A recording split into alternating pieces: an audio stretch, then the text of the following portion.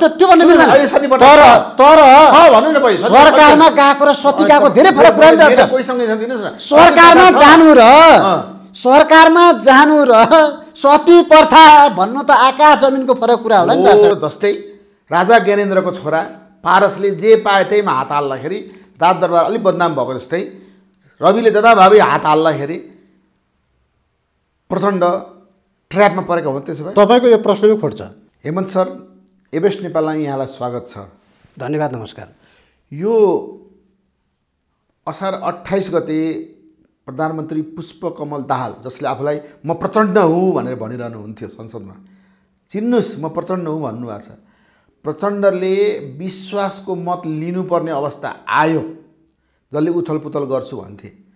त्यसो भए त्यो अट्ठाइस गते उनले विश्वासको मत लिँदा त्यहाँ साँच्चीकै उथलपुथल हुन्छ भनेर आम पब्लिकहरूले चासो लिइरहेका छन्। के साँच्चै त्यहाँ उथलपुथल हुन्छ? अब आज चौबिस गते भयो। अब चार दिन बाँकी छ। अठाइस गते विश्वासको मत लिन्छु भनेर पुष्पकमल दाल प्रचण्डज्यूले चाहिँ हिम्मत गर्नुभएको छ। उहाँले राजीनामा दिनु भएन। सरसर्ती हेर्दाखेरि उहाँको पक्षमा जम्मा अहिले देखिँदा त्रिसठी मत मात्रै छ। दुई सय पचहत्तर मध्ये। तर पनि उहाँ के कुरामा अझै पनि चाहिँ तपाईँको स्ट्रङली चाहिँ तपाईँको अडिक र एउटा अडान चट्टानी अडानका साथ अगाडि बढ्नु भएको छ भन्दा म विश्वासको मत लिन्छु। अथवा लिन सकिनँ भने पनि छयत्तर दुई चाहिँ म यसलाई चाहिँ तपाईँको चाहिँ अब कार्यान्वयन गर्ने दिशामा एक्सर्साइज गर्ने दिशामा जान दिन्न। बरु छयत्तर तिनतिर लगिदिन्छु। तर दुईमा चाहिँ म फर्किन दिन्न भन्ने उहाँको चट्टानी अडान छ। हेर्नुहोस्। एउटा। अर्को अर्को कुरो। अर्को कुरो अस्ति बिहान मात्रै शेखर कोइरालाले प्रधानमन्त्री प्रचण्डलाई बालुवाटारमै गएर भेटिसके पछाडि अठाइस गते हेर्नुहोला शेरबहादुर देउवाले सरप्राइज दिनेवाला छन्। सरप्राइज। अठाइस गते। त्यस पछाडि? त्यस पछाडि त्यस पछाडि अनि शेखर कोइराला त पार्टीभित्रको एउटा फ्याक्टर नै भए होइन? अब प्रचण्डसँगको उनको वार्ता के भइसक्यो? हेर्नुहोस् शेखरै कोइराला त! मलाई जहाँसम्म लाग्छ उनी युटर्नै भइसके युटर्न भइसके। त्यस पछाडि शेरबहादुर देवालले सरप्राइज दिए पछाडि केपी शर्मा ओलीको चिटिटी पसिना छुट्छ त्यो दिन। हेर्नुहोस् त्यो परिस्थिति चाहिँ आउँछ एउटा। दोस्रो कुरा साँच्चैकै उथल पुथल त यही त हो त डाक्टर साहब यही हो साँच्चै उथल पुथल भनेको। शेरबहादुरको सरप्राइज देख्नुहोस् अनि साँच्चीकै उथल पुथल चाहिँ अट्ठाइस गते हुन्छ। हामीलाई लागेको कुरा के हो भन्दा मलाई पनि लागेको कुरा चाहिँ हो तपाईँले भने जस्तै किन उनले एक महिनाको समय अवधि हुँदाहुँदै पनि एक हप्ताकै बिचमा विश्वास मत लिन खोजे? यो चाहिँ किन हो त हो हेर्नुहोस् है। यो रहस्यमय कुरा क्या। अनि यही बिचमा किन प्रचण्डले आफ्नो प्रतिनिधि सबै सहित पम्फा भूषालाई दिल्ली चाहिँ पठाए। यो आएको न्यु- न्युज अनुसार है यो हामीलाई थाहा छैन तर न्युज यस्तो किसिमको आएको छ। हल्ला छ यो हेर्नुहोस्। एउटा अनि अर्को अर्को अब कुनै एउटा छिमेकी मुलुकको एउटा राम्रै गतिलै टिम फेरि चाहिँ तपाईँको चाहिँ शीतल निवास छिर्यो भन्ने कुरा नि आइरहेछ। हो अब तर यी दुईवटा कुरालाई यदि यो दुईवटा कुरालाई क्या हामीले यो पछिल्ला दुईवटा कुरालाई मात्रै पनि एकै ठाउँमा राखेर हेर्ने हो भने डक्टर साहबले भन्नुभयो जस्तै अट्ठाइस गते उथल पुथल चाहिँ हुन्छ हुन्छ। हेर्नुहोस्। तर तपाईँको एउटा कुरा पहिले म त्यसमा पनि आउँछु। तपाईँको तपाईँले भनिराख्दाखेरि तपाईँको पुरानो इन्टरभ्यू हामी यसो सर्च गरेर हेऱ्यौँ। त्यहाँ के देख्यो भने अब तिस दिन पाउँछ पच्चिसवटा कुरा त एक एघार ठुलो माछा पछाड छ भनेर भन्नुहुन्थ्यो यहाँले। तर तिस दिन नभई एक हप्ताभित्रमै विश्वास मत लिने भए। यसो कारण के हो भनेर खोज्दै जाँदाखेरि कतै राष्ट्रिय स्वतन्त्र पार्टीलाई विभाजन गरेर एकीकृत समाजवादी पार्टीलाई विभाजन गरेर आफू एक नम्बर पार्टी हुन आँट्यो केपी ओली भन्ने त्रास प्रचण्डलाई परेर उसले छिटो त लिएको होइन। के लाग्छ तपाईँलाई? अब यसमा दुईवटा कुरा छ भने एउटा कुरा तपाईँले भनेको कुरामा के हो भन्दा मैले के भनेको त्यति बेला भने प्रचण्डसँग अब तिस दिनको समय बाँकी छ सरकारसँग। अब गृहमन्त्रीज्यूले पच्चिसवटा काण्डको सबैको छानबिन गर्नको निमित्त एउटा उच्च स्तरीय आयोग बनाउँछु भनिसके पछाडि त्यसको भोलिपल्ट यो कुराहरू भएको छ। एउटा दोस्रो कुरो शुक्रबार गृहमन्त्रीज्यूले बेचन झाला पक्राउ गर्नुभएको छ। शनिबार एमाले र काङ्ग्रेसका नेताहरूमा बेचैनी पैदा भएको छ। अनि बेचैनी पैदा भएपछि दुईवटा बुढा नेताहरू एउटा व्यापारीको घरमा यो द डार्क फाइल भने जस्तै क्या त्यो द डार्क फाइल भने जस्तै के हो? सान्दोरी के हो? होइन म त्यो जान्न। तर त्यो डार्क फाइल भने जस्तै द डार्क रुम एउटा व्यापारी घरको द डार्क रुममा बसेर गरेको सहमतिलाई सम्झौतालाई त्यो पनि गोप्य सम्झौता अझसम्म बाहिर आएको छैन। त्यो सम्झौतालाई नेपाली जनताले पहिला ओन गर्छ कि गर्दैन? नेपाली जनताले मानिदिन्छ कि मानिदिँदैन? एउटा पक्ष भयो। अर्को पक्ष अनि बेचन झा पक्राउ पर्ने बित्तिकै भोलिपल्टै चाहिँ तपाईँको चाहिँ एमाले र काङ्ग्रेस दुवै पार्टीका नेताहरूलाई बेचैनी हुनपर्ने अनि चाहिँ तपाईँको चाहिँ यस्तो सम्झौता गर्न पर्ने र ठुला दलको चाहिँ अथवा स्थिरताको निमित्त ठुला दलको सरकार हुनपर्ने भन्ने जुन त्यो भूत सवार भयो नि यो भूत त उनासीको निर्वाचन पछाडि सवार हुन पर्थ्यो नि त। यिनी यदि यिनीहरू स्थिरता चाहन्थे भने। होइन तपाईँले झाजीको पक्राउपछि यिनीहरू अत्तालिएको भन्नुहुन्छ तर वास्तविकता मान्छेले अरू नै भन्दैछन्। जस्तै तत्कालीन कारण के हो त भन्दाखेरि प्रचण्डज्यूले जुन टिआरसी विधेयक पास गर्न खोज्नुभयो त्यसमा केपी बालाई तपाईँ संयोजक बनेर एउटा समिति बनाऊ भन्दाखेरि केपी बाले ए घुँडा धसेर म प्रतिवेदन लेखु अनि हजुरको निगाहमा टक्र्याउँ भनेर बेङ गरेर त्यहाँदेखि उसलाई रिस उठेर उसले एउटा काम गरे भन्ने चाहिँ एउटा आन्तरिक तत्कालीन बाह्य तत्कालीन चाहिँ के भन्दैछ भनेदेखि बिआरआई कन्सेप्टलाई पास गर्ने कुरामा टिआरसी पास भयो भने म यो गर्न सक्छु।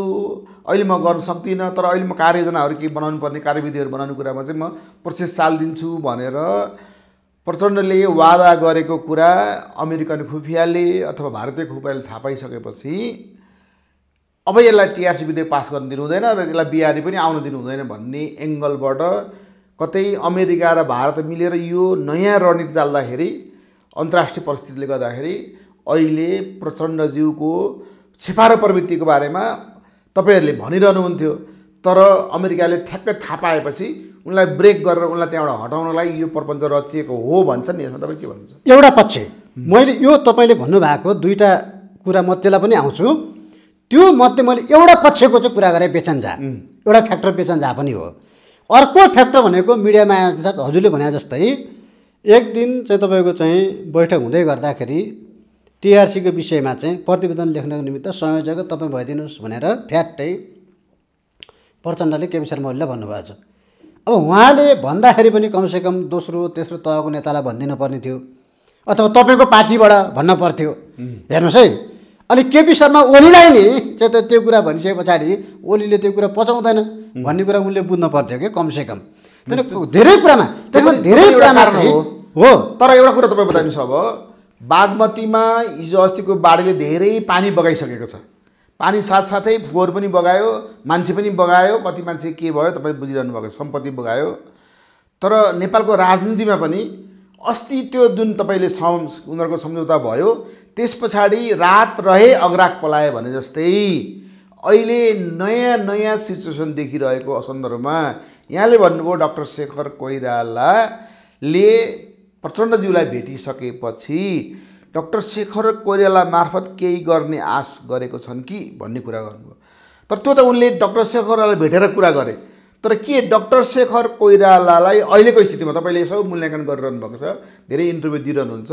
डक्टर शेखर कोइरालालाई अहिले अमेरिकाले भारतले र चिनले मध्ये कसले काखी च्यापेको छ त? होइन त्यो म ठ्याक्कै भन्दिनँ। भन्न भन्न पनि सक्दिनँ म फेरि। हेर्नुहोस् एउटा कुरा।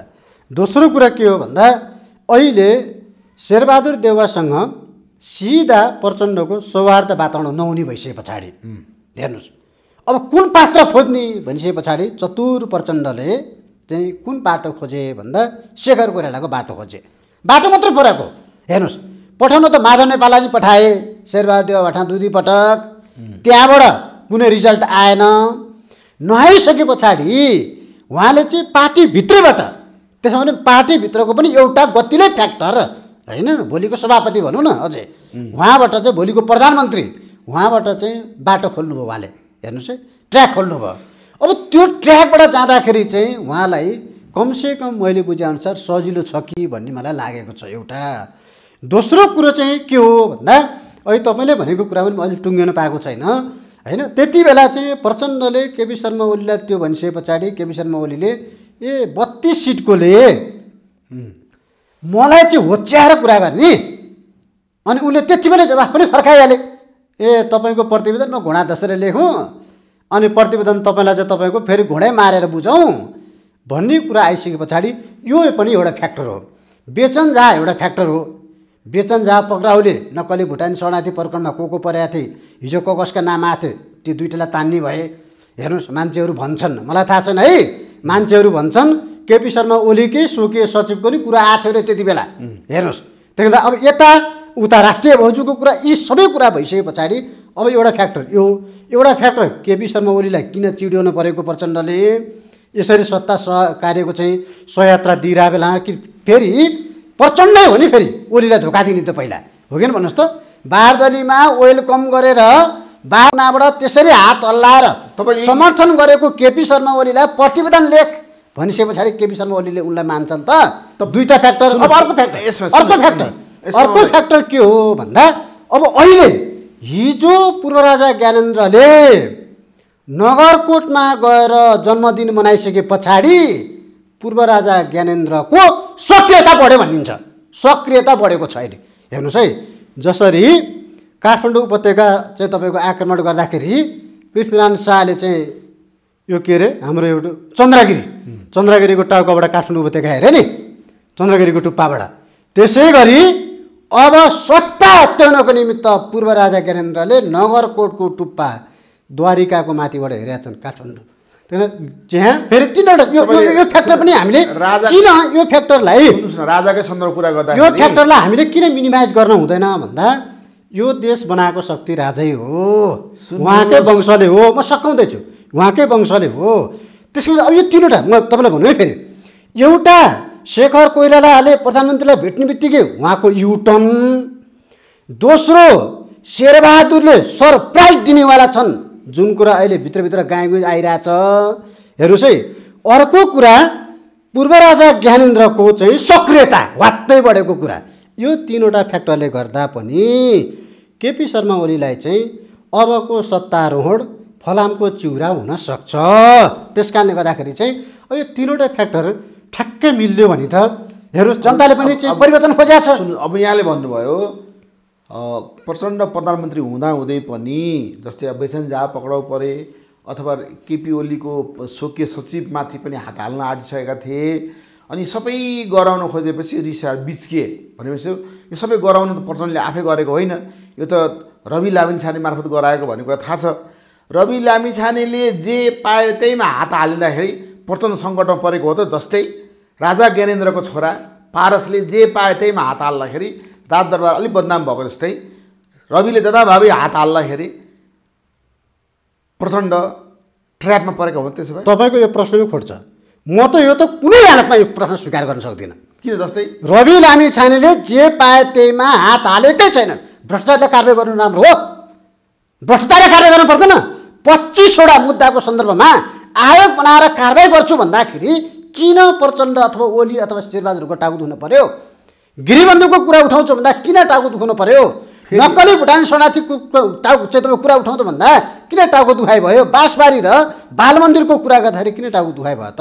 त्यही भएर पूर्व राजाको छोरा पारस शाहको गतिविधिको कुरा र चाहिँ तपाईँको चाहिँ रवि लामिछाने गृहमन्त्रीज्यूको गतिविधिको कुरालाई जोड्नै मिल्दैन। जोड्ने कुरै होइन।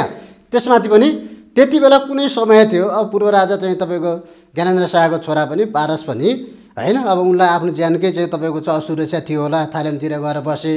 त्यस पछाडि उसलाई त्रास भयो। त्रास भएपछि त्यो उनी चाहिँ ड्रग्सतिर लागे। त्यो एउटा भिन्नै बाटो भयो क्या डाक्टर साहब तर त्यसलाई यसलाई हामीले जोड्नै मिल्दैन। चरित्र त तपाईँले हेर्दै हो भने पारस र रविको चरित्र उस्तै भन्छ। जस्तै तपाईँले हेर्नुभयो भने पारसले एउटा ड्रा के अरे ड्राइभिङ गर्दाखेरि एउटा मान्छेको हत्या भयो त्यसको लागि पाँच लाखले निवेदन हाल्यो युवा सङ्घको तर उसलाई कारवाही भएन भन्ने कुरा छ नि। त्यस्तै त्यो सालिमपुडा सैनीले बोलेका कुराहरू त भिडियो अहिलेसम्म भाइरल कहिलेकाहीँ हुन्छ। त्यसमा आफू चाहिँ करोड करोड खाने हामीलाई चाहिँ यति मात्रै तलब दिने भनेर रुएर जुन उसले बोलिरहेको एउटा करप अर्को ड्राइभर जुन उहाँको माथि छतबाट लड्यो रविजीको त्यस पछाडि अर्को तपाईँले अहिले मुकुल ढकालको आफै पठायो रिपोर्ट ल्याउन रिपोर्टमा आफ्नो विरुद्धमा कुरा गर भनेर उसलाई चैटी गरिदिए अथवा उसलाई चाहिँ निलम्बनमा राखिदिए। यी सबै हेर्दाखेरि कम पारसभन्दा कम खुराप बरु पारस अलिक सज्जन ऊ चाहिँ अलिकति जो विरोधी भयो त्यसलाई पेलिहाल्नुपर्छ भनेर जस्तै कान्तिपुरलाई पेले गरेर गए। कान्तिपुरलाई के गर्दा पक्राउ गर्न जबरजस्ती पक्राउ त परे तर के गर्दा जब हाजिर जमाना छोड्न लाग्यो फेरि। अहिले खोइ टाइम टाइम फिस केही भइरहेछ कान्तिपुरको पब्लिकेसनको खोइ सुनिँदैन। र तपाईँले हेर्नुभयो भने के गरे एकपल्ट पत्रकारै हुँदाखेरि त्यो खेम भण्डारीलाई स्टुडियोमा बोलाएर एउटा अनुसन्धानको उसलाई इन्सपेक्टरलाई डिएसपीकोलाई बोलाएर त्यहाँनिर खेम भण्डारीकै आफन्तले गरेको हो भन्ने आशयले त्यहाँनिर प्रयोग गर्न खोजे। तर आफै गृहमन्त्री म एक महिनामा चाहिँ त्यो भन्छु के अरे हाम्रो हेम के अरे उसको त्यो निर्मला पन्तको केस भने त्यो पनि गर्न सकेनन् भनेपछि गफ बढी गर्ने तर काम पनि गर्न नसक्छ जस्तै के हुन्छ नि एकपल्ट बैसठी त्रिसठी आन्दोलनमा एउटा भिडियो बनाएको थियो त्यसमा के थियो नि मानव अधिकार कहाँ छ? भन्दाखेरि उसले इन्सेकको किताब देखाएर मानव अधिकार यो किताबमा छ व्यवहारमा छैन भनेपछि भनेपछि रविको पनि बोलीमा छ तर व्यवहारमा छैन भन्ने एङ्गलबाट मान्छेले व्याख्या गरिसक्दाखेरि के हामीले उसलाई पारससँग तुलना गर्न मिल्दैन? कोहीबाट पनि ठाउँ छैन। जस्तै तपाईँले सारीराम प्रशासनिक कुरा गर्नुभयो त्यो प्रक्रिया अदालतमा गयो अदालतको त अदालत अदालतमा जे हुन्छ। हो अदालती प्रक्रिया गयो त्यो हामीले भन्ने हामी चाहिँ तपाईँको न्याय न्यायाधीश होइन हेर्नुहोस् हामी प्रशासन पनि होइन हामी त्यो भन्न सक्दैनौँ न्यायालयले जे गर्छ प्रशासनले गर- जे गर्छ न्यायालय सबै कुरा ठिक गर्छ? त्यो- कुरा त्यो कुरा ठिक गर्छ? त्यो कुरा तपाईँ भन्नुहोस् न पहिले, न्यायालय सबै कुरा ठिक गर्दैन न्यायालय- होइन, न्यायालयले। सबै कुरा ठिक गर्दैन तर हो। अधिकांश कुरा ठिक गर्छ। अधिकांश कुरा ठिक गर्छ अधिकांश भन्दै जस्तै। जस्तै ठुला ठुला व्यापारीहरूको सन्दर्भमा हाई प्रोफाइलको सन्दर्भमा चाहिँ न्यायालयले कहिले कहिले गल्ती गरेको छ तर त्यसलाई पनि पछि सल्टाएको छ। पत्रकारको सन्दर्भमा जोड्नु भएको ठुल्ठुलो सल्टाएको छ पछि रञ्जन कोइरालाको कुरा हेर्नुहोस् पहिला छोडियो पछि फेरि अर्को प्रधान न्यायाधीश आएपछि उनलाई चाहिँ तपाईँको जेलमा कोचियो त्यो घटना पनि हामीसँग छँदैछ। अब अरू अरू चाहिँ तपाईँको ड्राइभरको कुराको सन्दर्भमा पनि अनुसन्धान गर्दाखेरि उनी चाहिँ तपाईँको चाहिँ मादक पदार्थ खाए त्यस पछाडि लडे भन्ने कुरा आयो। लड्ने नै कुरा त मर्ने नै कुरा त। सुन्नु डाक्टर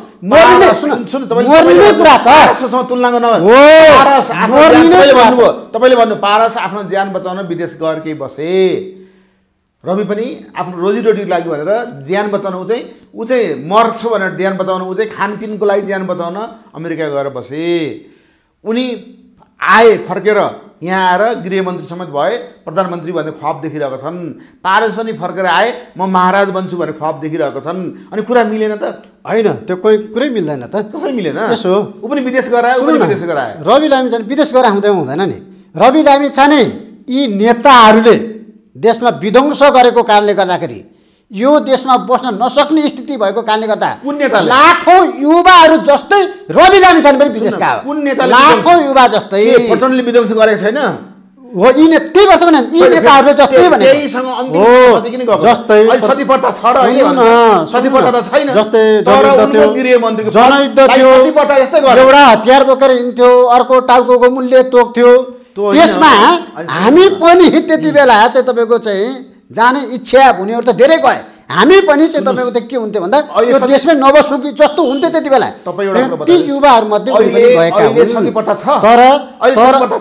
तर तर सरकारमा। गएको र सती गएको धेरै फरक कुरा सरकारमा? जानु र। सरकारमा जानु र सती प्रथा भन्नु त आकाश जमिनको फरक कुरा होला नि सती प्रथामा श्रीमान सँगसँगै दाह संस्कारमा जानु हो। अब दाह सरकार अठाइस गतेसम्म दाह संस्कार प्रधानमन्त्रीको हुँदैछ। त्यसमा सँगसँगै गृहमन्त्री पनि जानु भनेको त सती प्रथालाई माने जस्तो हो नि त। होइन यो त राजनीतिक इथिक्स हो। राजनीतिक धर्म हो यो त फेरि। होइन। सरकारमा सँगसँगै सहभागी भइसके पछाडि त्यो नेतृत्व गर्ने दलको नेता अथवा प्रधानमन्त्रीलाई उसले अन्तिम समयसम्म साथ दिनुपर्छ।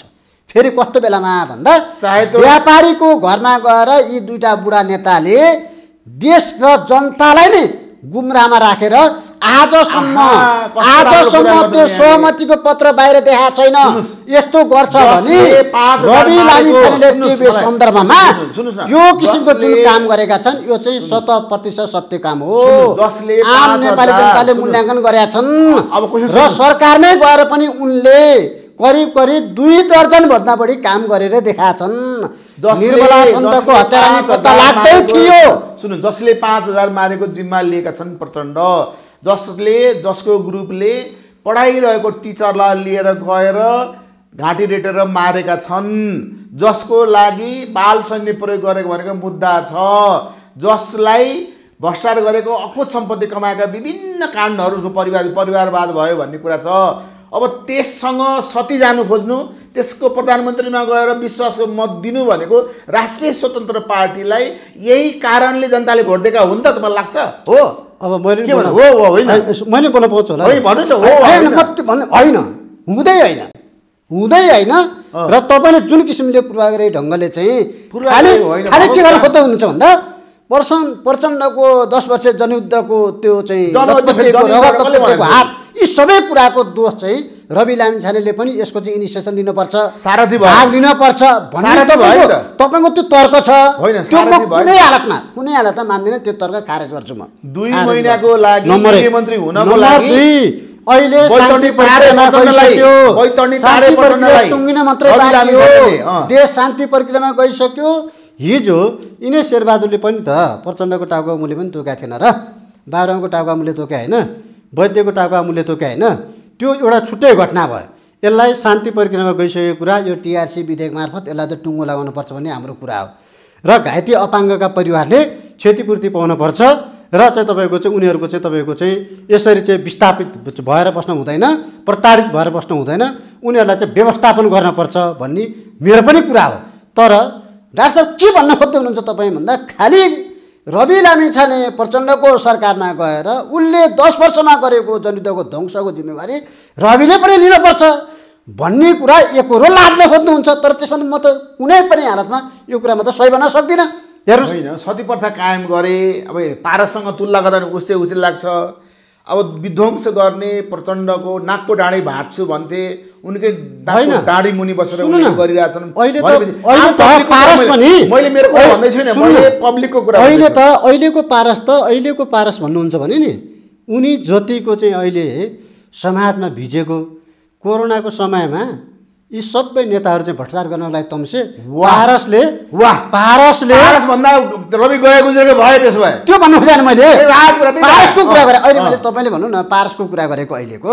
तपाईँ फेरि त्यहाँ लगाएर किन नजोड्नु न? किन जोड्नुहुन्छ? होइन पारस भन्दा त त्यस कारणले गर्दाखेरि गुज्रेकै त्यो हुँदैन।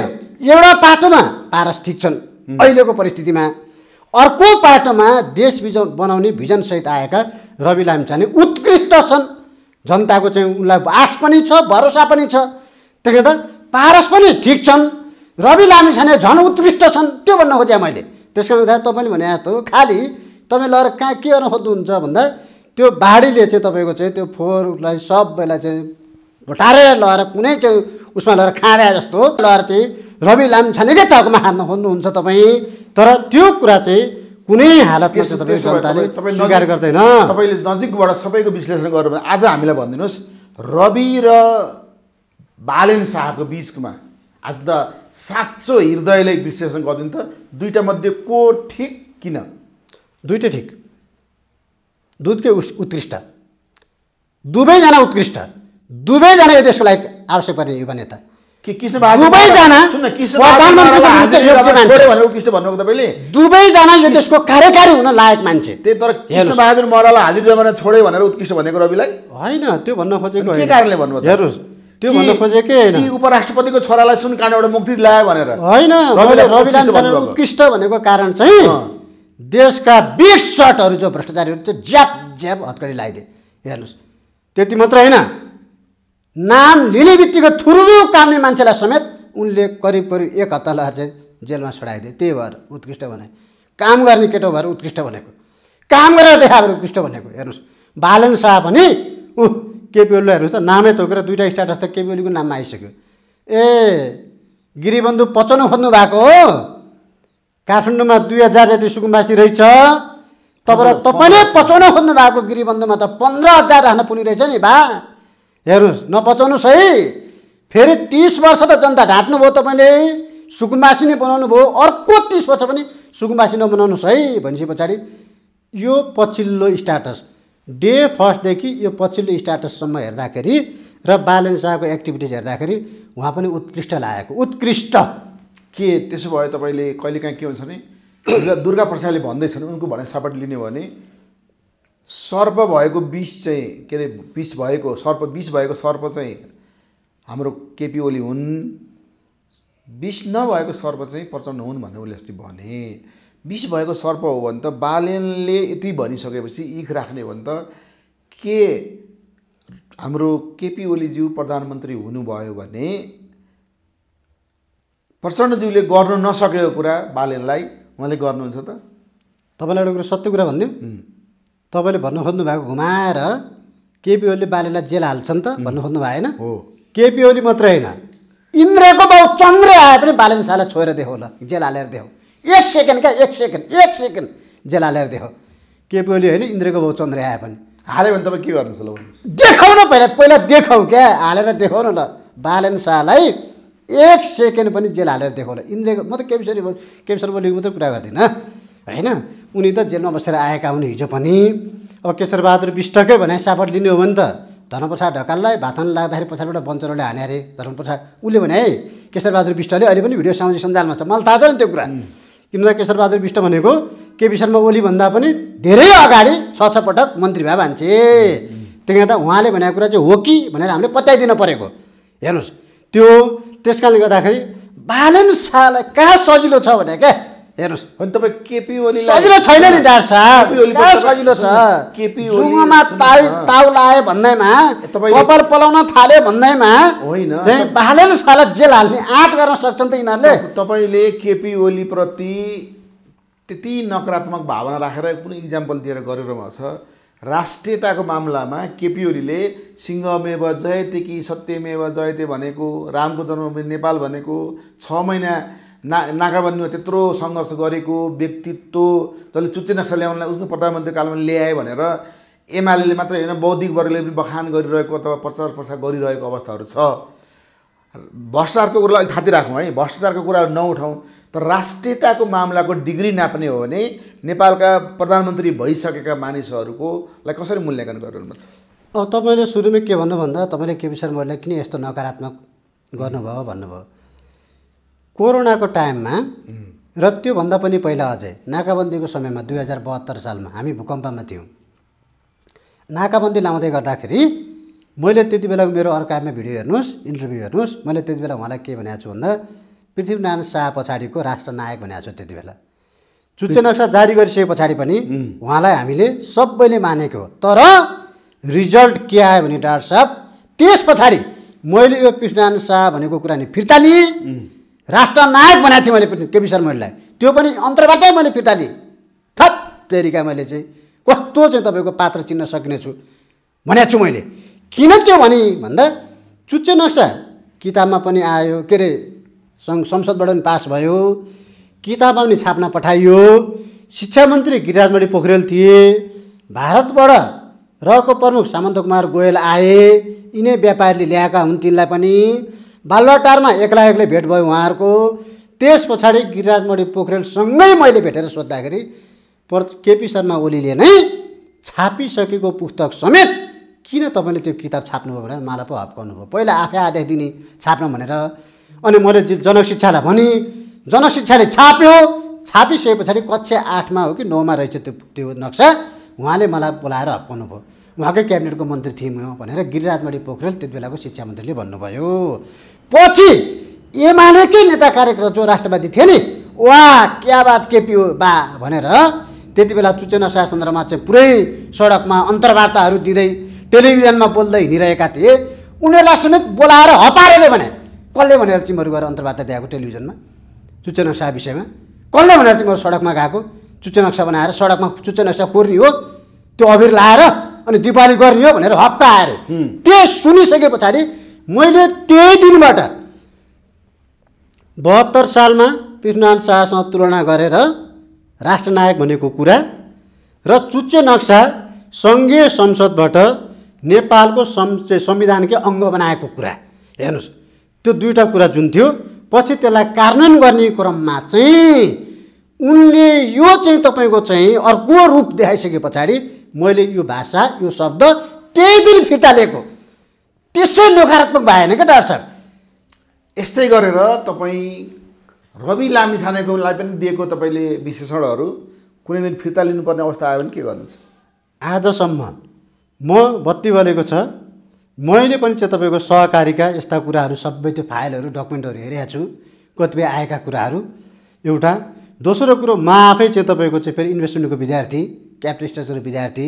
हेर्नुहोस् कम्पनीमा लगानी गर्दाखेरि कस्तो किसिमको लगानी हुन्छ उसले चाहिँ स्वामित्व कम्पनीमा छोडेर हिँडिसके पछाडि के हुन्छ उसको हैसियत यो सबै थाहा छ। पछि मात्र न मैले पोलिटिकल साइन्स पढाए हो डिग्री गरे हो होइन? त्यस कारणले गर्दाखेरि चाहिँ यो थाहा भएर नै मैले के भने भन्दा छाती पिटेर कान्तिपुरले लेख्दा पनि कान्तिपुरे पत्रिका देखाएर यो फेक हो है? यो फेक हो यो छापेको कुरा फेक हो भनेर पत्रिका देखाएर भन्ने पहिलो मान्छे म। त्यही गर्दा मलाई न हिजो न आज न भोलि रवि लामी छानेप्रति केपी शर्मा ओली जस्तै चाहिँ तपाईँको फ्रस्ट्रेसन मलाई हुँदैन। हिजो पनि थिएन आज पनि छैन भोलि पनि छैन। ठिक छ। म फिर्ता लिन्न लिन्न लिन्न के? अब सुन्नुहोस् यो यो कुरा त जसले जसले अहिले इन्टरभ्यू हेरिरहनु भएको छ तपाईँले फिर्ता नलिएको कुरालाई उनीहरूले फिर्ता लिनु भनेर अनुरोध गर्ने हुन् कि तपाईँलाई के यस्तो भनेको तपाईँले बुझ्नु भएको छैन भनेर इक्जाम्पल दिने उनीहरूले कमेन्ट गर्लान् त्यो म चाहिँ दर्शकहरूलाई छोडिदिन्छु। अलि प्रसङ्ग फेरि ताजा खबरमै आउँ। ताजा खबर के भनेदेखि भर्खर के खबर आयो भनेदेखि कतै अट्ठाइस गते उथल पुथल हुने बेला भयो भने हिटलरले गरेको जस्तै संसदमा आफू प्रधानमन्त्री हुनलाई उसले के गरेको थियो भनेदेखि कम्युनिस्टहरूलाई भित्र छिर्नै दिएको थिएन ताल चलाइदिएको थियो। हामीले इतिहासमा पढ्छौँ पढाउँछौँ। त्यस्तै सुरक्षा निकायको कुनै अङ्कलाई भित्र पसाएर त्यहाँनिर बुथ क्याप्चर स्टाइलले जसरी भए पनि केपी ओलीलाई प्रधानमन्त्री हुन नदिनको लागि त्यहाँ षड्यन्त्र गरिन्छ भन्दैछन्। यसमा तपाईँ के भन्नुहुन्छ? यसमा चाहिँ अहिले भइरहेका राजनीतिक दलहरूबाट यो कुरा म सम्भव देख्दै देख्दिनँ। यिनीहरू सबै डेमोक्रेटिक नर्म्सबाट आएका छन्। हेर्नुहोस्। किन भन्दा तर माओवादी त होइन नि त। सुन्नुहोस् तपाईँ सुन्नु न डाक्टर साहब। चौसठी सालमा एक सय बिस एक्काइस सिटको माओवादी हुँदा पनि उसले चाहिँ के गर्यो भन्दा संसदमा राजीनामा दिएको छ हेर्नुहोस्। अहिले ऊ बत्तिस सिटमा हिजो यत्रो माओवादी ऊ अहिले यत्रो माओवादीमा झरेको छ। त्यहाँदेखि अहिले उसको हैसियत हुन त अब गर या मरको स्थितिमा छन् प्रचण्ड। तपाईँले भने जस्तै गर्न पनि सक्छन् फेरि। तर अब अहिले चाहिँ उनलाई नै सुरक्षा निकायका यी तिनवटा अङ्गले नै पत्याउँछ जस्तो मलाई लाग्दैन। उनको आदेश मान्छ जस्तो मलाई लाग्दैन अहिले चाहिँ। होइन, तर अर्को कुरा चाहिँ। तर अर्को कुरा चाहिँ यदि यो चार दिनमा यो चार दिन चार रातमा पूर्व राजा ज्ञानेन्द्र शाहले सक्रियता वात्तै बढायो भने उनलाई चाहिँ साथ दिन सक्छ है फेरि। उनलाई चाहिँ। तपाईँ- दलबाट सबै वितृष्ण छन्। तपाईँले यहाँ भने जस्तो। काठमाडौँ सुन्नु काठमाडौँ उपत्यकामा ढाडमा टेकेर टाउकोमा हान्ने रणनीतिमा आएको माओवादी। यो त थाहा छ। त्यस्तै गरेर सुरक्षा निकायले प्रचण्डकै ढाडमा टेकेर टाउकोमा हान्ने रणनीति संसदमा अठाइस गते लिदियो भने तपाईँले भन्नुभयो यी सबै डेमोक्रेट पार्टी यिनीहरूले सक्दैनन्। तर सुरक्षा निकायको कुनै विङ्सले प्रचण्डकै ढाडमा टेकेर टाउकोमा हान्ने रणनीति लिदियो भने त्यो दिन के हुन्छ? होइन यसमा पनि यस्तो भइसकेको रहेछ डाक्टर साहब भित्रभित्र। तपाईँले हेर्नुभयो भने अब उहाँहरूलाई अलिकति यो किन यस्तो भन्दिया होला भन्ने लाग्छ होला। तर बाहिरबाट प्रश्न देखिएको कुरा चाहिँ हरेक सुरक्षा संयन्त्रमा पार्टिसन छ। हेर्नुहोस्। त्यहाँ माओवादी पनि घुसिया छ एमाले छ पुरानो काङ्ग्रेस त छँदैछ हेर्नुहोस्।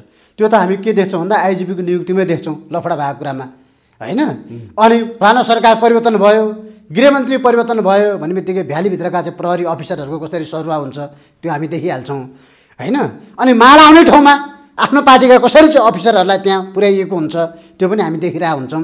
त्यस कारणले गर्दा त्यो नै सम्भावना चाहिँ म देख्दै देख्दिनँ। त्यहाँ प्रचण्डले त्यो आफ्नो सुरक्षाकर्मीलाई दुरुपयोग गर्न पनि सक्दैनन्। ओलीले पनि सक्दैनन् शेरबहादुरले पनि सक्दैनन्। तर फेरि पनि म दोहोऱ्याएर चाहिँ के भन्छु भन्दा पूर्व राजा ज्ञानेन्द्र शाहले चाहिँ सक्रियता बढाए भने हिजोदेखि राज संस्था मानिआएको हिजोदेखि परमाधिपति मानेको त्यो शक्तिले चाहिँ संसद भवनको तिनवटा गेट चाहिँ तपाईँको चाहिँ कब्जा गर्न सक्छ। र उसले चाहिँ संसद भवनै कब्जा गर्न सक्छ त्यो दिन चाहिँ। र त्यो भयो भने जनताले फेरि साथ पनि दिन्छन् फेरि। जनता यो तहमा पुगिसक्यो अहिले हेर्नुहोस्। किन भन्दा जनताले के बुझिसके भन्दा यिनीहरू भनेको अब चाहिँ बालन शाहले लेखिदिए यो गिरिबन्धु चियाको समय हो काले काले मिलेर खाउँ भाले भनिसकेपछि अब के भन्नु पऱ्यो बोल्नु पर्ने कुरा के छ त भन्नु त। ठिक छ। त यहाँले भने जस्तै संसदमा त्यो राजा सक्रिय भयो भने केही होला भन्ने एउटा अनुमान गर्नुभयो। तर त्यसबाहेकको दुईवटा अब क्वेसन बाँकी रह्यो जम्मा तपाईँसँग। कुरा के भने ल ठिक छ। उनले संसदमा बहुमत ल्याउन सकेनन्। उनी प्रजातान्त्रिक भएर मरि जस्तो मरि च्याउरेको जस्तो चाउरिएर निक्लिएर गए। बालोटारबाट बालकोटे के अरे बा बालकोट होइन खुमलटारे। खुमलटारे पुगे अरे त्यस पछाडि राष्ट्रपतिको पोल्टामा जान्छ राजनीति। राष्ट्रपतिले धारा छिहत्तरको दुईबाट नै दुईवटा दुईभन्दा बढी दलको आउनुहोस् भनेर माग भइदियो भने के हुन्छ त्यसमा? अब पहिलो प्रश्नमा प्रधानमन्त्रीज्यू बालुवाटारबाट खुमालटार सर्नको निमित्त उहाँले घर सफा गरेर चिट्टिकै पारिसक्नु भएको छ। यसमा हामीले चाहिँ दुई मात्रै गर्नु परेन। अस्तिदेखि नै न्युज आएको छ। तिन चार दिन भयो न्युज आएको पनि। उहाँलाई अब अट्ठाइस पछाडि म प्रधानमन्त्री बन्छु भन्ने उहाँलाई छँदै छैन।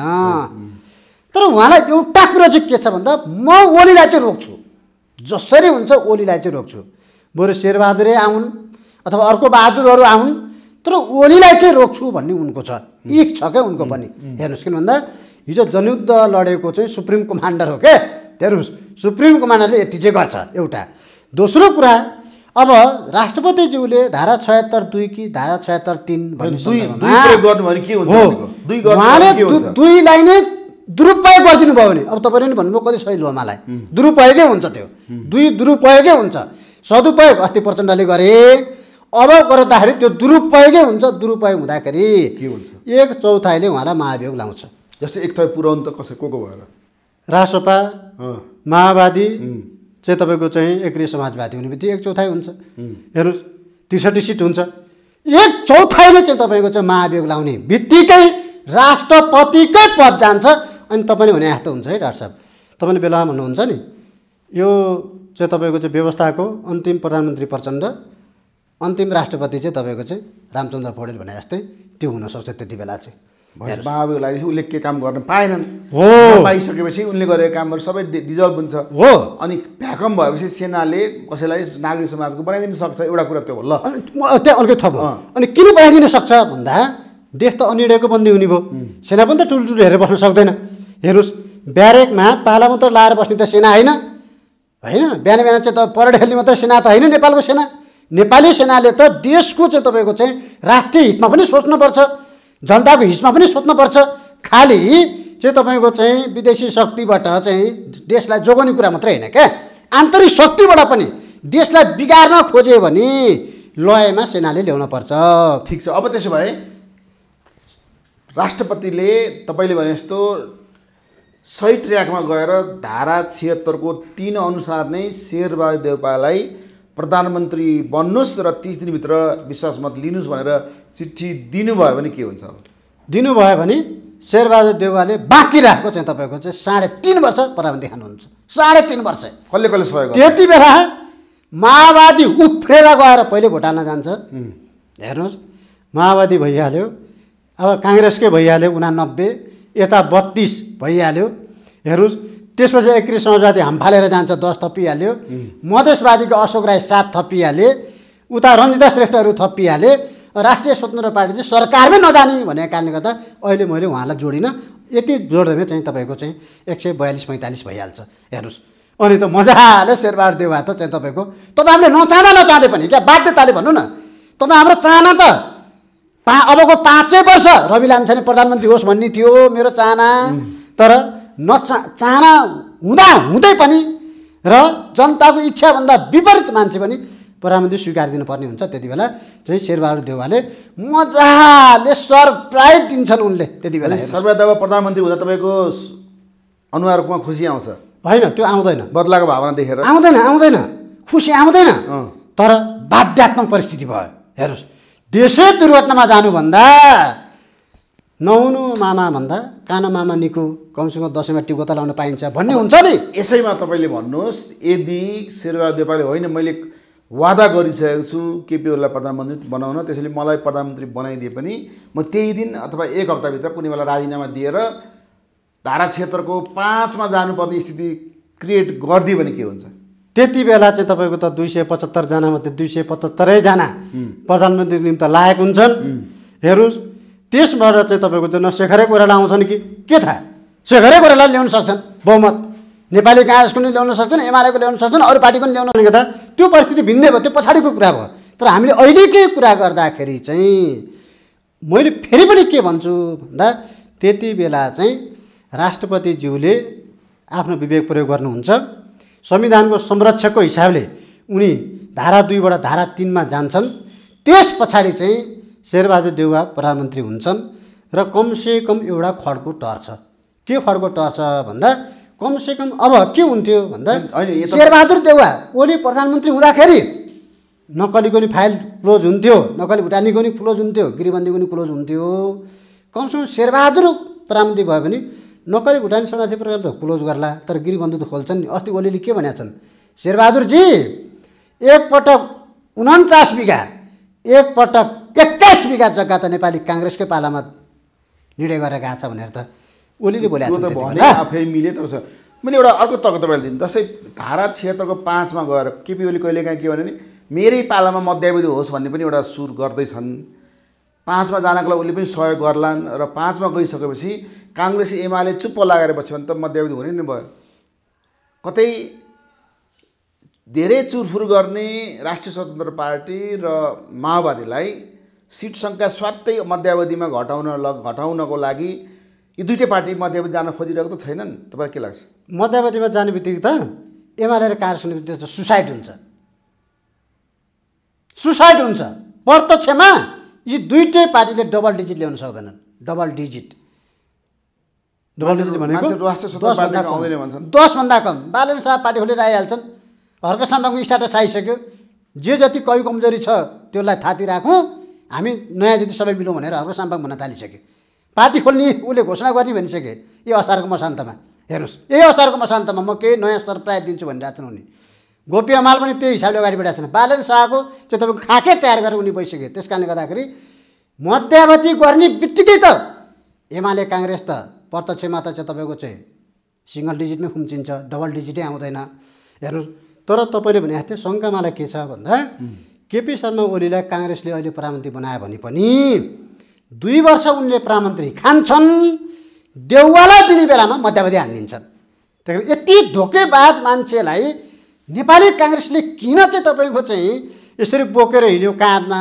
हेर्नुहोस् किन भन्दा तपाईँलाई म भन्छु हिजो नेपाल कम्युनिस्ट नेकपा हुँदाखेरि हामी दुईजना चाहिँ अब बोइङ उडाउने हो। कहाँ टेम्पो हो र हामी दुईजना पाइलट भनेर हिँडेको प्रचण्डलाई साढे दुई वर्ष साढे दुई वर्षको प्रधानमन्त्रीको कुरा हुँदाखेरि दिनपर्छ भनेर पछि त अध्यक्षको कुर्ची समेत सचिवालयको मिटिङमा अगाडिबाट प्रचण्डको कुर्ची हुत्ताइदिएको होइन लात्ता लानेर आफू मात्र एउटा मात्र कुर्ची राखेन अगाडिपट्टि। त्यस पछाडि चाहिँ प्रचण्डले चाहिँ अब अति भयो भनेर चाहिँ तपाईँको पार्टी फोर्नु पऱ्यो होइन अदालत गर्न पऱ्यो होइन। अनि यस्तो धोकेबाज कम्युनिस्ट पार्टीभित्रकै आफ्नै सहयोद्धा एउटै बोइङ चलाउने अर्को पाइलटलाई कोखामा छुरी हान्ने ओलीले सिद्धान्तै नमिल्ने शेरबहादुर देउवालाई तेल लाएर तोरीको तेल चताएर लाएर चाहिँ तपाईँको चाहिँ मालिस गरिदिन्छन् भनेर हामी पत्याउनु। भनेपछि त्यो नेपाली काङ्ग्रेसको जन्मै यति पनि कुरा बुझ्दैन भने नेपाली काङ्ग्रेस हुस्सु भयो क्या। त्यो बिपियु काङ्ग्रेस हेर्दैछ भन्ने थाहा हुन्छ। तर ओली र काङ्ग्रेस र एमाले मिल्नुपर्छ सुरुवात गर्ने डक्टर शेख कोइराला सुनिल शर्माहरू हुनुहुन्थ्यो। अब तपाईँले यसो विचार गर्नुहोस् कतै ओलीले धारा क्षेत्रको पाँचमा जानुपर्ने स्थिति आयो भने शेखर कोइरालालाई नै काफी च्याक काफी च्याप्छन् कि पूर्व पूर्वको मिलौँ भन्ने खालको पनि हुन्छ नि त? होइन यस्तो त्यो त अहिले धारा छयत्तर पाँचको त हामी कुरै नगरेको डाक्टर साहब सो किनभने हामी अब बल्ल दुईबाट तिनमा जाँदैछौँ एक्सर्साइज गर्दैछौँ हुन त चार त लागु नै हुँदैन कार्यान्वयनमै आउँदैन। तिनमा जाने दिँदैनन् क्या शेरबहादुर देउवा उहाँ ज्योतिषले भनिसक्यो होइन छचोटि अब प्रधानमन्त्री सातचोटि भनेर बल्ल पाँचचोटि। भएको छन् उनी। अनि अनि त्यस पछाडि फेरि ज्योतिषले के भनेको छ भन्दा ए असारभित्रै पनि भनेर चाहिँ एउटा अन्तर्वार्ता जाँदा ज्योतिषले असारमै पनि लेखाएको छ कि असारको अन्तिम अन्तिममा पनि आएछ अट्ठाइस गते भनेको त त्यस कारणले गर्दाखेरि हातमा आएको प्रधानमन्त्रीको पद यहाँ कसैले पनि छोड्दैन क्या हेर्नुहोस् जतिसुकै राजनीतिक इथिक्सको कुरा गरे पनि काङ्ग्रेस भने काङ्ग्रेसै हो एमाले भने एमाले नै हो क्या यिनीहरूको किता काटै छ क्या खाने बेलामा मिले पनि काले काले मिलेर खाउँ भाले भने पनि यिनीहरूको राजनीतिक इथिक्सै फरक छ त। दर्शनै फरक छ। त्यस कारणले गर्दाखेरि अन्तिम अन्तिममा यहाँले भनिदिनु पऱ्यो ल यो सरकार भङ्ग होला केपी ओलीको अथवा शेरबहादुर जसको नाउँमा प्रधानमन्त्री भए पनि पर्ला चिठ्ठी एउटा पर्ला जो परे पनि हामी स्वीकार गर्नुपर्ने हुन्छ कसै कसैले केपी ओली भयो भने मुद्दा हाल्लान् के गर्लान् अथवा शेरबहादुर देउपा भयो भने ल ठिक छ सिस्टम अनुसार गयो भन्लान्। त त्यस पछाडि त्यहाँ म मन्त्री हुन्छु भनेर कसैले परराष्ट्र मन्त्री कसैले गृहमन्त्री कसैले अर्थमन्त्रीमा अलिक चासो देखाइरहेछ नि। यो तिनवटालाई कसलाई कसलाई दिँदा अलिकति सुशासन हुन्छ भनिदिनुहोस् त अब ठ्याक्कै अब तपाईँले भने जस्तो कसलाई कसलाई दिँदा भनेर मैले मन्त्री पद माग्ने त होइन। त्यो नि जनताको मेरो आवाज। भागमा पऱ्यो भने त म यी कसैलाई पनि दिन्न। कुरो भयो नि। आफै लिनुहुन्छ? लिन्न म पनि कसलाई- योग्य। मान्छे राख्छु? तर मैले सुनेको चाहिँ। गृहमन्त्रीमा अब रमेश लेखक आउँदैछन् रे भन्ने सुनेको मैले। हेर्नुहोस्। अनि परराष्ट्र मन्त्रीमा आर्जु राणाको कुरा अहिले चाहिँ तपाईँको चाहिँ उहाँको विकल्पमा अरू कोही पनि छैन भन्ने सुन्या छ। हेर्नुहोस्। अब यस्तै यस्तै अरू चाहिँ मन्त्रीहरूमा अर्थमन्त्रीमा विष्णु पौडेल होला केही जानी भइहाल्यो भने होइन? यसरी जान्छ। तर अब यहाँ अब अहिले यति तिनवटा कुरा गर्दा पनि अर्थमन्त्री विष्णु पौडेल हुँदा सेयरको सर्किट ब्रेक चाहिँ हुन्छ। हेर्नुहोस्। जनतालाई चाहिएको त्यही छ। हो अब त्यो छ। तर सिङ्गो देशको अर्थतन्त्र चाहिँ के हुन्छ भन्ने छ? हेर्नुहोस् है एउटा। मागेर ल्याएर चाहिँ कर्मचारीलाई तलब भत्ता खुवाउनु परेको छ त्यो परिस्थिति। अरू। अर्को गृहमन्त्री रमेश लेखक हुँदाखेरि मैले चाहिँ तपाईँको चाहिँ तात्विक केही पनि चाहिँ तपाईँको चाहिँ फरक पाउँदिनँ। अनि कसैले? उनले सम्हाल्न सक्दैन। सुन्नु कसैले के हो, भन्दैछ उनले सम्हाल्न सक्दैन। डक्टर शेखर रोयालालाई उपप्रधान तथा गृहमन्त्री लिनुहोस् भनेर गाउँघरबाट उहाँलाई सन्देश आइरहेछ भन्छन्। के लाग्छ तपाईँलाई होइन सन्देश त आउन सक्छ तर शेखर कोइराला चाहिँ उपप्रधानमन्त्री खान जान्छन् र भोलि सभापति अनि चाहिँ प्रधानमन्त्री हुने मान्छे। अनि उपप्रधान र गृहमन्त्रीको लोभमा लाग्यो भने त गगनै थापा त जानु हुँदैन। हेर्नुहोस्। कहाँ जानु हुन्छ त अहिले? जानु हुँदैन हेर्नुहोस्। त्यस कारणले गर्दाखेरि अब शेरबहादुर पहिलो कुरो गृहमन्त्री उनको पकेटको मान्छेलाई दिन्छन्। उनको पकेटको मान्छे अहिले भनेको यो जुन ड्राफ्ट भएको छ नि ड्राफ्टमा सहभागी भएको पनि रमेश लेख रमेश लेखक र चाहिँ तपाईँको शङ्कर पोखरेल हो दुईजना। त्यसले गर्दा ओली पनि पोजिटिभ देउवाको पनि चाहिँ तपाईँको पकेटको मान्छे। अहिले गृहमन्त्री हुने उनी नै हुन् भयो भने। अनि तर एकजना तर तिनवटा पात्रमा चाहिँ एकजना युवा नेता सुनिल शर्माको नाम छुटिरहेछ यहाँ होइन। उहाँलाई होइन उहाँलाई त? उहाँको क्षमता र योग्यता हेर्दाखेरि सङ्घीय संसदमा उहाँले दिएको प्रस्तुति हेर्दाखेरि उहाँलाई शिक्षा मन्त्री नै दिनुपर्छ क्या यो राज्यले शिक्षा मन्त्री एउटा बौद्धिक वर्ग हो उहाँलाई शिक्षा मन्त्री नै दिनुपर्छ किन भन्दा फेरि नेपालको एकजना मात्रै सांसद नेपालको इतिहासमा आसङ इतिहासमा जसले सांसद भएर पनि तल भत्ता पारिश्रमिक एक सुकको पनि राज्यको कोषबाट ल्याएन। बरु जनताको उपचार रोगी बिरामीको उपचार घरमै गएर एम्बुलेन्सै पठाएर गएर ल्याएर फ्रीमा उपचार गरेर बाटो खर्च समेत र अलिक तङ्ग्रिनु पऱ्यो भने तङ्ग्रिने चाहिँ तपाईँको चाहिँ भिटामिन फलफुल समेत चाहिँ किनेर झोलामा हालिदिएर बिरामीलाई पठाएको व्यक्ति उहाँ हुनुहुन्छ एउटा। त्यस कारणले गर्दाखेरि अब उहाँलाई चाहिँ शिक्षा मन्त्री दियो भने चाहिँ उहाँले केही गर्न सक्नुहुन्छ भन्ने मलाई लाग्छ त्यसै गरी यहाँले एउटा। भने जस्तो युएनको कर्मचारी भइसकेको विभिन्न संस्थाहरू मार्फत गाउँघरमा महिला अधिकारको लागि राम्रो काम गरेको वैदिक सम्बन्धहरू राम्रो भएको आर्जु देउबालाई परराष्ट्र मन्त्री दियो भने के फरक पर्छ? होइन मैले सुनेको त योभन्दा अघिल्लो पटक पनि आर्जु देउवाले परराष्ट्र मन्त्री माग्नु भएको थियो अरे शेरबहादुर देउवाले आफैले हप्काउनु भएछ उहाँलाई होइन अहिले पनि उहाँको चाहना छ अरे अब मैले अरू कुरालाई चाहिँ थाती राखेर भन्नुपर्दा है अरू कुरा चाहिँ तपाईँको उहाँको विषयमा अनेक अनेक कुरा आइरहन्छ त्यो सबै कुरा थाती राखेर भन्नुपर्दा चाहिँ त्यो कुरालाई एकछिन साइडमा राखौँ। उहाँको क्षमता पिएचडी हो उहाँ पनि। हेर्नुहोस् परराष्ट्रमा उहाँको राम्रै क्षमता छ। छिमेकीसँग मिलाउन सक्ने उहाँको राम्रै क्षमता छ। उनी फुत्त जहाँ चढेर गइ पनि हाल्छिन् होइन? त्यस कारणले गर्दाखेरि शेरबहादुर देवको श्रीमती भनेर एकछिन बिर्सिने हो र मान्छेले बजारमा भने जस्तो भ्रष्टाचारका कुराहरूमा चाहिँ उनी छैनन् भन्ने कुरा प्रमाणित भयो भने उनले आफ्नो क्षमता प्रदर्शन गरिन् भने चाहिँ परराष्ट्र मन्त्रालय राम्रै ह्यान्डल गर्न सक्ने मान्छे चाहिँ हो। त्यतिको महिला चाहिँ फेरि अर्को दोस्रो छैन है फेरि। परराष्ट्र मन्त्रालय सक्ने। कोइराला पनि एकताका सुजाता कोइराला भन्दा त धेरै चाहिँ उहाँ क्षमतावान मान्छे हो। आर्जु राणा देउवा। होइन हामीले फेरि यो सबै कुरामा चाहिँ चाहिँ तपाईँको चाहिँ ए फलानो चाहिँ मन नपरेको मान्छेको के नै गनाउने भने जस्तो त्यो चाहिँ गर्नु हुँदैन। होइन? उसले चाहिँ पर्फ्युमै लाए पनि गनाउने भन्नु हुँदैन क्या हामीले।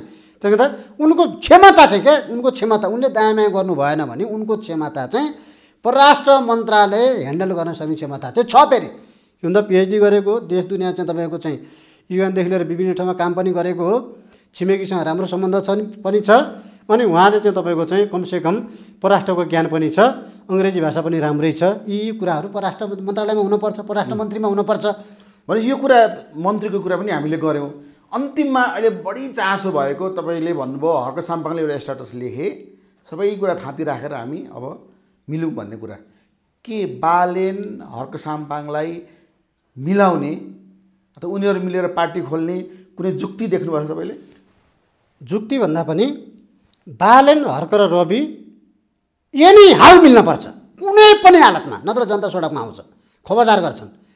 कुनै पनि हालतमा बालेन रवि हर्क र गोपी हमाल छुटेको जनता हेर्न चाहँदैन। मिल्नै पर्छ। बरु के के असमझदारी छ बसेर माझ्नु पऱ्यो तपाईँहरूले र नेतृत्व कसको भनेर स्वीकार्न पनि बरु बालेनकै नेतृत्व स्वीकार्न पऱ्यो त्यसको निम्ति पनि तयार हुन पऱ्यो रविले बालेनको नेतृत्व स्वीकार्न पर्छ भन्ने तपाईँको होइन त्यो मैले के भनेको भन्दा त्यो परिस्थिति आए पनि बरु एक कदम पछि हटेर भए पनि जनताले माग गरे भने बरु बालेनलाई स्वीकार गरेर भए पनि जान चाहिँ अरू तिनजना तयार हुनपर्छ र तिनजना नो इफ नो बट उहाँहरूले भन्न पाउनुहुन्न मिल्न पर्छ पर्छ। हेर्नुहोस् हस् त महत्त्वपूर्ण समय दिनु यहाँलाई धेरै धेरै धन्यवाद। धन्यवाद नमस्कार।